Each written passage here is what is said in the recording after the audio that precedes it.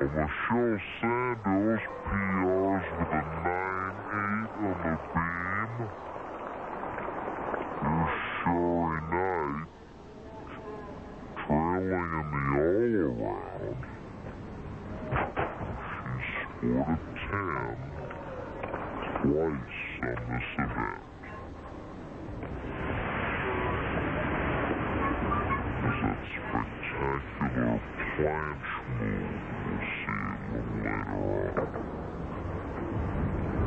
Chari works the beam unlike any gymnast that I have seen in a long time. She is so quick.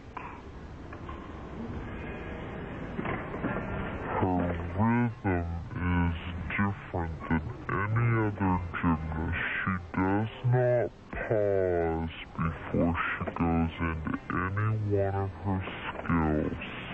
She's very aggressive.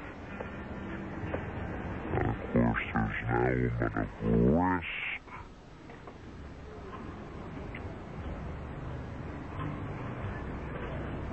But it makes it that much more impressive. It does.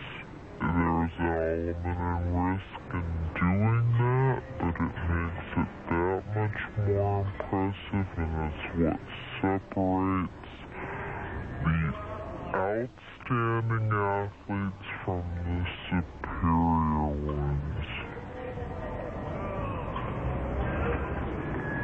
Here we see her planche move.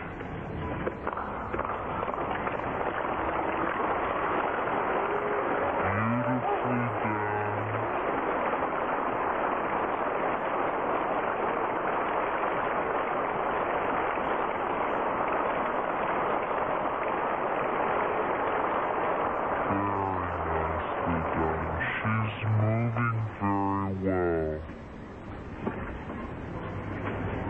You know, the pressure's been on to score tens at home after she scored tens at the Husky Classic.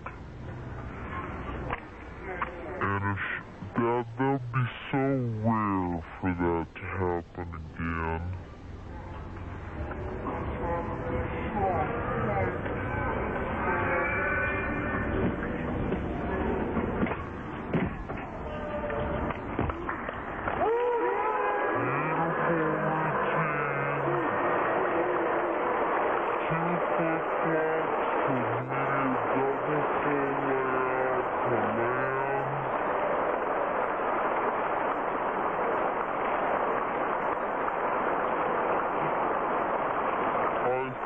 flight hop on the landing.